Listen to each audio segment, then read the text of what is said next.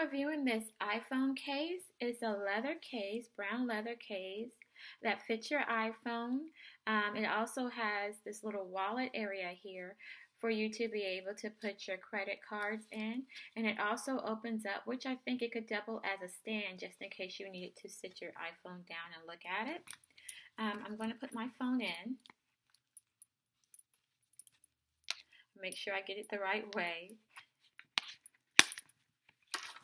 just a moment.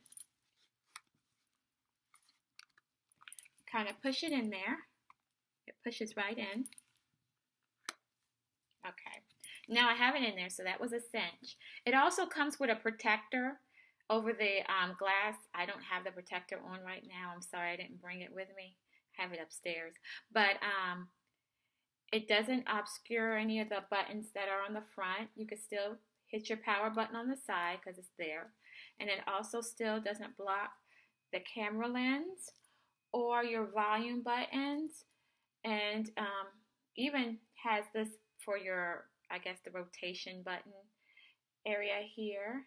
It has um if you can see here it has grips so that your phone doesn't slip out of your hand because that can happen quite easily.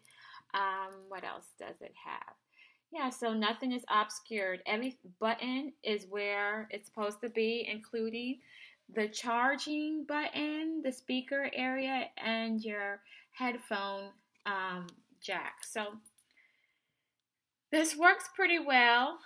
Keep in mind I don't have the plastic covering just in case, or the protective glass covering just in case you were afraid of um, scratching the glass or anything like that. But otherwise, everything else works well. Thank you.